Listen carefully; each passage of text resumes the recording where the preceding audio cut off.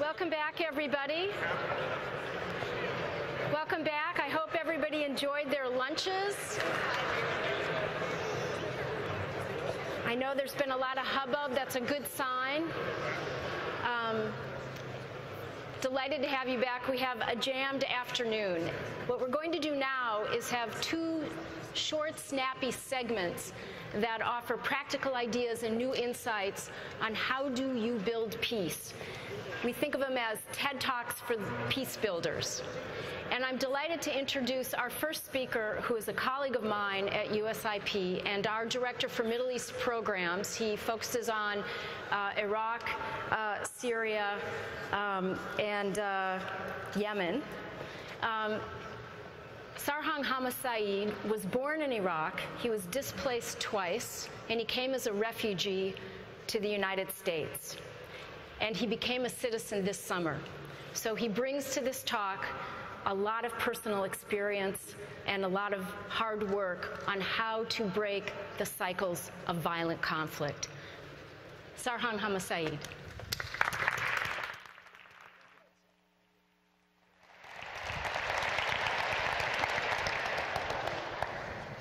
Oh, good afternoon, ladies and gentlemen. Can you hear me fine? The microphone working fine? Uh, it is my distinct honor to be uh, speaking before you today. Uh, I'll be talking about conflict and peace building from a bottom up. Uh, and by that I mean from the uh, local level, connecting with national and international efforts. And bottom up uh, is something that USIP's chairman of the board and former national security advisor, Mr. Stephen Hadley, often talks about how he got to appreciate after his NSA role. Often, policymakers respond, um, view and respond to conflict from the top down, from the perspective of national governments, from the perspective of international institutions. Um, and that would mean responding to immediate uh, results of a conflict through pr prisms of political cycles and, um, and immediate results. But leading to oftentimes missing the local issues that are important, that have long-term implications. I'll talk about a, bit about my journey uh, through uh, conflict and becoming a peace builder. Uh, but my primary purpose is to be the voice of those who live through conflict and become and work for peace, uh, become peace builders and work for peace. I was born into conflict. Actually, in a way, and as ironic as this may sound, I am a product of conflict. Uh, my parents met in Soleimania province after they came from two separate villages and became neighbors because their villages were destroyed.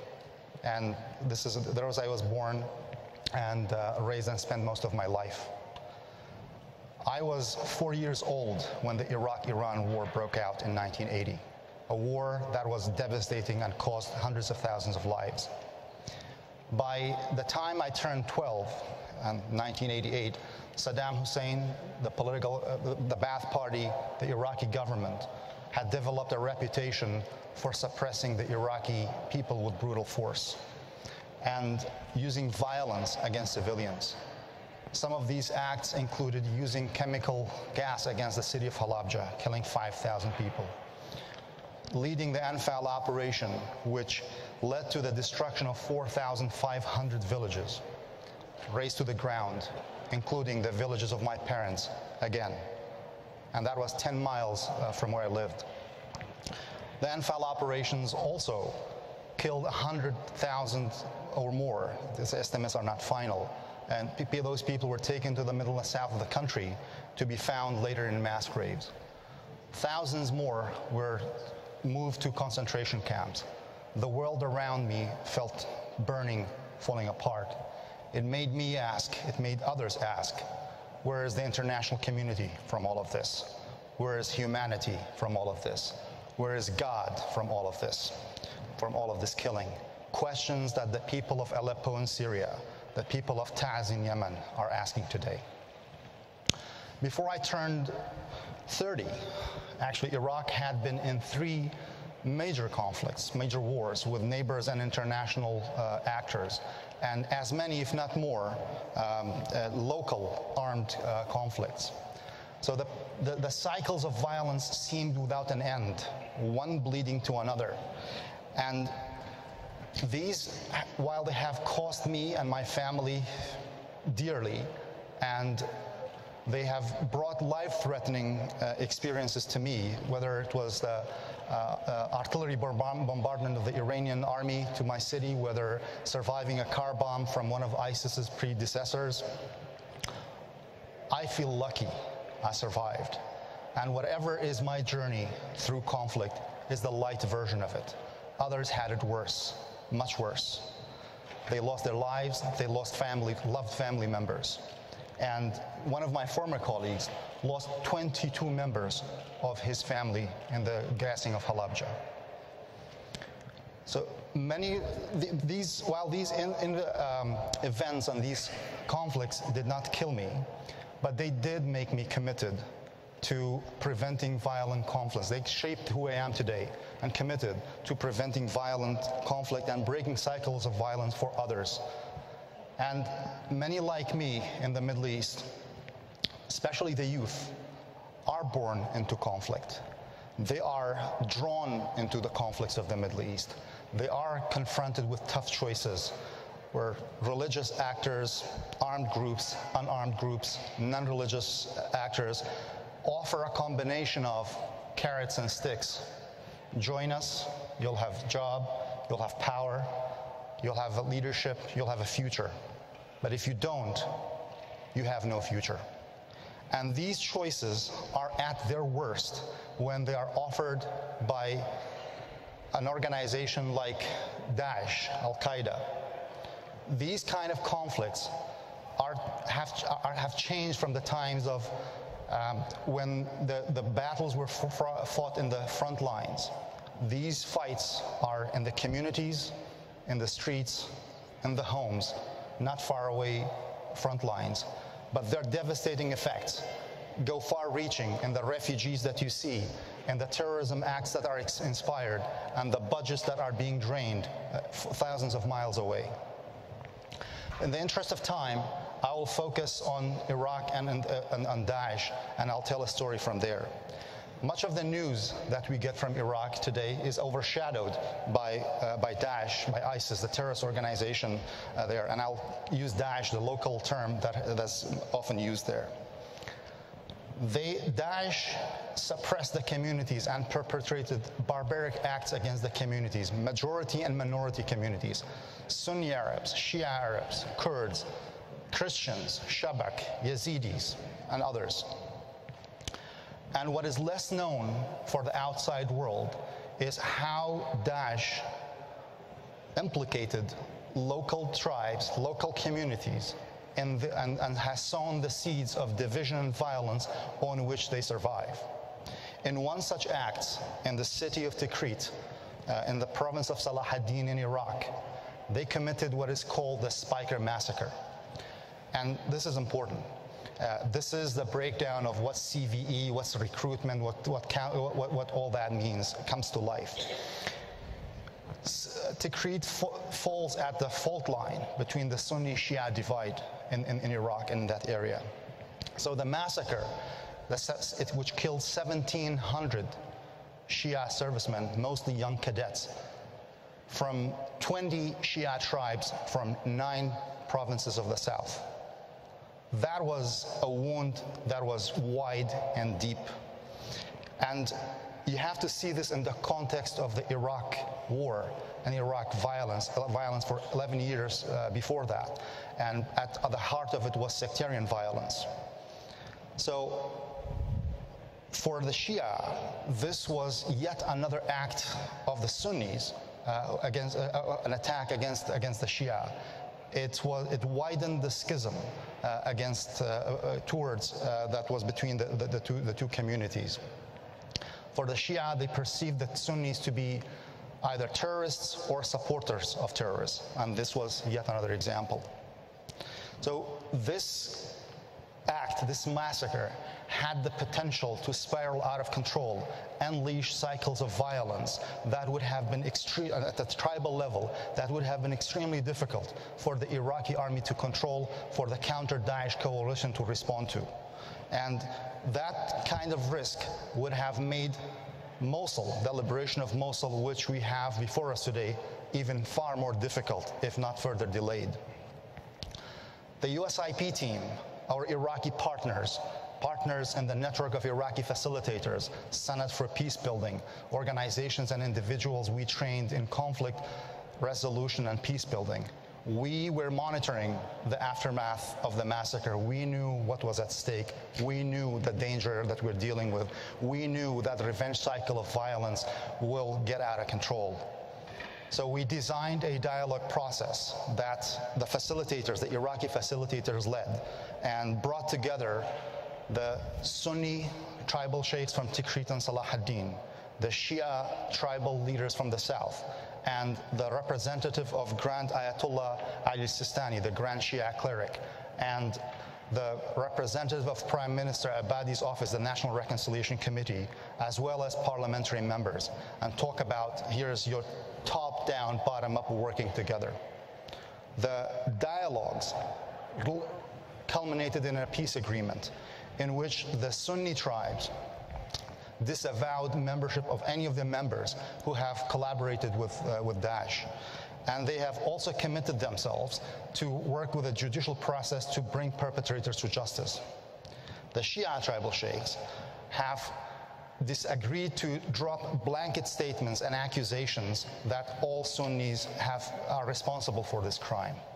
They agreed to not go for tribal revenge they both agreed, both of the Sunni tribes and the Shia tribe leaders agreed not to go to, to prevent politicization. And this is important.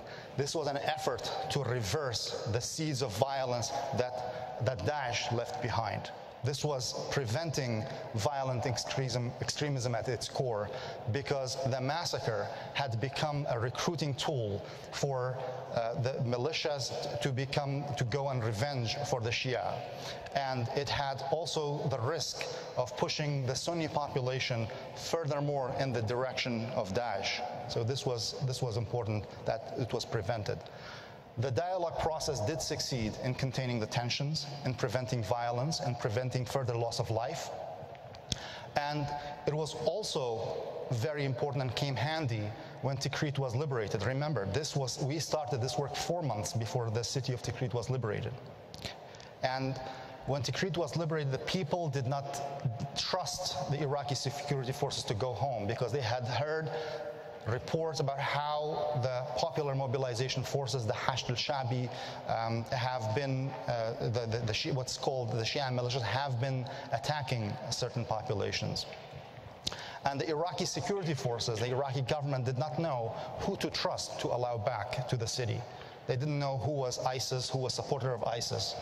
So the trust and the relationship we built between the tribal leaders and the Iraqi government interlocutors we work with led to a, a, a, vetting process that facilitated the return of the initial 400 families to Tikrit, about 1,200 people. And then the mechanism was used to facilitate the return of other people. And I'm happy to report that today, more than 320,000 people, 320,000 people have returned to uh, Salah ad-Din and Tikrit. And that's, that, that's a major uh, achievement. As someone who was displaced twice and has seen the hardships of displacement, I could tell you what that meant for these families to go home. So this was also important because when we embarked on this process, many people felt that the only response you can have to Daesh and the aftermath of Daesh is a military response. Civilian organizations like USIP and the Iraqi partners have no role in, in dealing with a problem like Daesh. But the work proved that actually there is. And they, these are the ways that you reverse the long term effects. And we knew that because we had done that before. We knew that there are practical ways that you can respond to conflict and, and, and build peace. For many, the Speicher massacre may seem like a unique story. And there may be unique things about it in terms of the high number of casualties and certain aspects of it. But what's not unique is that revenge violence and local conflicts that the aftermath of the fight with Daesh has, has left behind is in every town, in every village, in every province that they were. And so, as an organization, from my personal experience, from the work of USIP, and from the work of our Iraqi partners, I can tell you yes, recapturing land, uh, more than 50%, is progress, welcome progress. but I can tell you that more work needs to be done. Re- Recapturing land from Daesh is not the end. Ending Daesh is not the end of violence. And, and the reason I say that, because we have more ingredients for violence today. And it, it's, as I said, it's revenge violence and local conflicts that, that are left behind. As USIP, we are working with the Iraqi government, the Kurdistan Regional Government, the United Nations, and the Coalition to Counter Daesh, who all do great work to embark on this problem. There are 3 million Iraqi people who need to go home, and revenge and local conflict is a barrier that we need to address. Second, revenge violence and local conflict has the potential to give us a process that I usually call de-Daeshification or de-ISISification. And by the I mean that is similar to the de-Baathification process that happened after 2003. The process to go after members of ISIS or perceived members of ISIS, oftentimes you'll find civilians there, could lead to a wider divide between the Sunnis and the Shia and the Sunni communities themselves this time. And this is a development. So all this may, may, may sound like a difficult task, but our work tells us that it is possible. Reconciliation is possible. And by reconciliation, I mean getting people back to their homes and peacefully coexist. We are working on this in Anbar, we are working on this in Salah ad-Din, and we have lines of efforts in Mosul, around Mosul, and in Nineveh, and we hope to expand that. And let me conclude by saying that I know there may be a lot of reason to say, okay, the conflicts of the Middle East are endless and there is no way to, uh, to deal with them. This is a bleak picture. Uh, but from my, again, my personal experience, the work of USIP and the work of our Iraqi partners, I can tell you that there is reason for hope.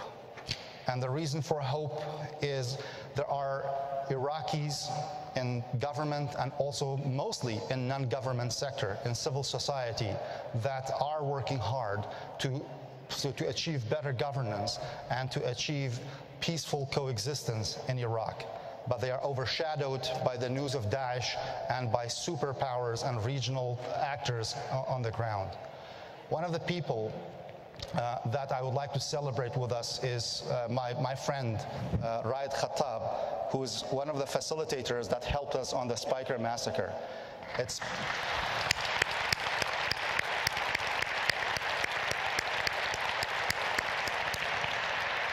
It is him, people like him, many like him in, in Iraq and elsewhere that give me hope.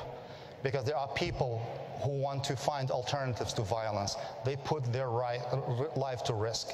So the investment that the United States and the international community have done, have put in the Iraqi civil society has paid dividends already.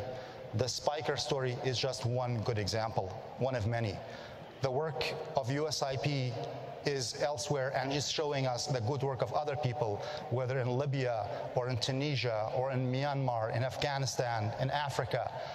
It is possible. The role of the United States is an indispensable leading, leading role in diplomatic, economic, developmental, and military terms. If we help these people, I think we can turn things around. Things that are happening at the local level where you need to bring communities back and restore social cohesion. So it is that bottom of approach and the top down that will enable addressing these conflicts. I believe that we collectively can work on this approach and by applying strategic patience to as we respond to these conflicts, I think peace is possible and there are practical ways to address even the most violent conflicts like Iraq, Syria, Yemen and Afghanistan. Thank you so much. Thank you for your attention. Well done. Beautiful. Beautiful job. Thanks. Thank you, Sarhang. Thank you for that note of optimism and for reminding us that peace is indeed possible.